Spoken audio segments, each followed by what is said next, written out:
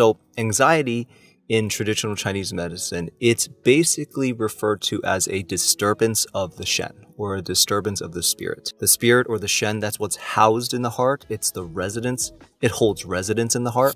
So if heart blood is deficient or heart yin is deficient, then the Shen doesn't have a good, strong foundation for it to rest. So it's kind of like you're lying in a bed that has no mattress, basically, or there's no pillow or there's no blanket you just can't settle well in that bed.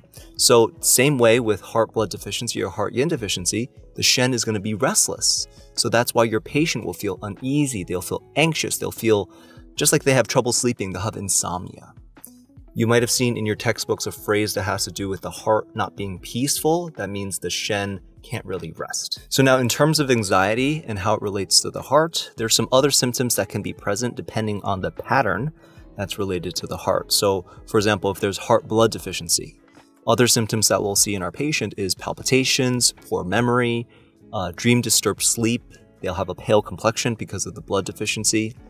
The patient might say, I feel nervous, I feel anxious, and this is kind of all the time, but I don't really know why. If it's heart yin deficiency, we might see some more empty heat signs. So, for example, the night sweating, some irritability, a tongue without coat. And for this patient, the patient might say, at nighttime especially, my mind doesn't like to shut off. I'm exhausted, but I can't really sleep. Another pattern is heart fire blazing. So this is an excess condition.